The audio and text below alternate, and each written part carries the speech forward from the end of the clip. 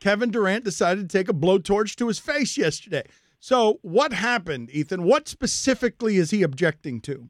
Well, he did, he actually didn't uh, raise any specific objection, which was interesting. It was just he was mad uh, that the article existed. There was no part of it that he declared was untrue.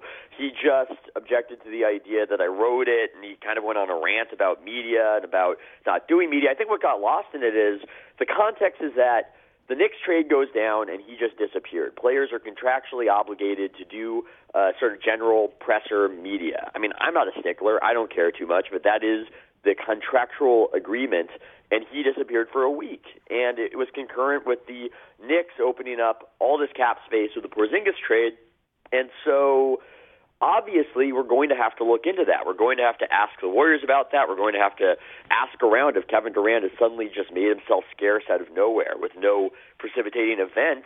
And so I wrote about, you know, I wrote about it. I wrote about that there's a general expectation around the league that he's going to the Knicks. Obviously, things can change, as Brian Windhorst points out. You know, things can change between now and the summer. I know Stugotz wants more uh, definitiveness, um, and he seemed to be very angry about all that. But it's it's so odd because if it's just clearly not true, if it's clearly erroneous, then it would be a situation where you go, "No, I'm I'm coming back to the Warriors." What are you talking about? Ethan, I'm sorry. Well, I was going to say he controls this. Ethan's right. That's the point that's frustrating. He controls this. If he wants to say, if he wants it to end, Dan, he could simply say, "Hey, I'm staying right here." Yeah, yeah. You guys are used to the LeBron plan where LeBron goes, okay, um, I'm not going to answer questions about other teams. I'm going to answer questions about this team. That's what LeBron says in every contract year, and it's not a repeated grilling. I mean, he was. It was so strange. It was. Uh, it was kind of out of nowhere because look, I'm not saying that we're soft out here in the Bay, but we aren't we aren't really bringing the heat. They've won a lot of games. They've won championships. We're not just badgering them. It's generally, oh, how's it feel to win so much? Oh, pretty good. Okay, okay. you know, there would be months in between somebody asking him about free agency, so it was utterly bizarre um, to uh, to take it in this direction. Were you thrilled that he called you out by name? I wasn't thrilled. It was Yes, more just odd. No, it was just weird. Why do you ask the question if you're just going to immediately call the person answering it a liar? Well, Like, I mean, I won't call him out if he answered it truthfully. I mean, that's all. I mean, who would be thrilled if Kevin Durant said your name and you're in the middle of all this? Well, I think Stugotz might be projecting because I think we all know Stugotz would love it. I think that's what's happening right here. Yes, I'm assuming you're just like I me. would not love it. It's uncomfortable. I don't imagine Yeah. Ethan loves it, even though he's trying to sell a book. He's about to, I, even selling a book and knowing that it's good for the sales of a book for him to have his name, your name in his mouth. Uh, that doesn't feel good to you, right? Yeah, not not really, um, but you have to use it, and it, it's just another situation in the reputation management of one Kevin Durant where I'm effectively forced to talk about it more.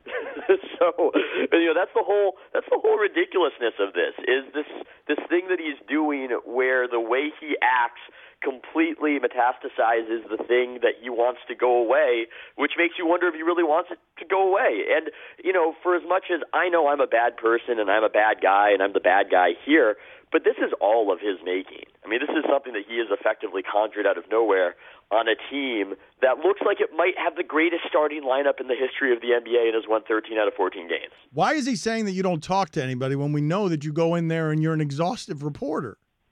Um, I don't know, trying to get at the credibility, attack the credibility. I mean, it's a situation where I think you're always in a losing battle where you try to assert your own credibility.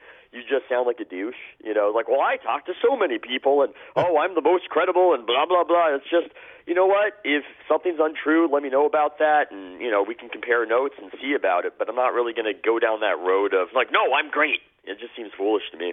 Ethan, how hurt do you think Kevin is over the fact he didn't expect this? There- There's no way that he's won these championships, been great in the finals, yet it hasn't been validated by the media. It just hasn't been. Like they acknowledge he won the championship, but they don't validate how great of a player he actually is. I can sympathize with him on that. You know, he might have thought that those were the rules, that you are the greatest player on a team, you get finals MVP. You know, when LeBron uh, won the finals against Kevin Durant, we said LeBron is the greatest player in the NBA. And I think when he went up against LeBron, and I do believe he outplayed LeBron, uh, at, at least in the first finals, where LeBron wasn't really there, wasn't really there defensively. Um, I think he thought that there would be a, a changing of the guard, and it just never happened. And remember, he said in 2013 that he was tired of being in second place. It's been a long time since 2013. What's his problem? Is it that or something else? I mean, I can't really. You wouldn't want to psychoanalyze too much on that. Uh, I think generally it's a problem that a lot of guys might have. Where uh, what's that? That Browning poem that the the reach must exceed a man's grasp, Yeah, right? yep, where yep. they all have that. They all have that inclination, and we're seeing that around the league. I mean, have we ever seen more unhappy superstars? Have we ever seen more superstars with one foot out the door? It might have something to do with the social media era, where yeah, you can talk directly to the fans, but the downside is, is they can talk directly back to you, and you have just a steady stream of the opposite of validation. And right now, I mean, just look at the situation around the NBA. You've got Jimmy Butler. You know, is he going to stay? You've got the aforementioned KD. You've got Anthony Davis trying to get out. You've got Kyrie Irving with one foot out the door. I'm probably missing a few guys. It's never been like this, and it seems like it's not just KD. Ethan Strauss with us. You should check out uh, his work at The Athletic. When is the book coming out? Uh, the book is going to come out in 2020, so it's going to be it's going to be a little while. But you know, just stay tuned. I think it will be. Uh, I think it'll be good. I'm certainly getting some material right now, and more importantly, some publicity. Also, I want to give a shout out to the podcast that I did with Amin Elhassan, Warriors Wednesday. You know Amin. It, it, it kind of presaged and predicted this whole thing unfolding as it did.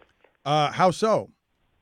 Uh, just the themes that we talked about. I mean, we talked for over an hour and a half. You know, you know Amin. You know Amin came. You know he came with it. I just thought you would let me plug. I didn't expect a follow up, Dan. I didn't expect to add context to my plug. But if you're plugging it, I'd like to know what's over there so people don't actually have to go listen to it. Yeah. Okay, I see that play. I see that. It's just hard to synthesize an hour and a half down to uh, down to a few bullet points. But we basically said that this was going to happen. That I was going to come in there and something like this is going to happen. It's fairly predictable with Kevin Durant.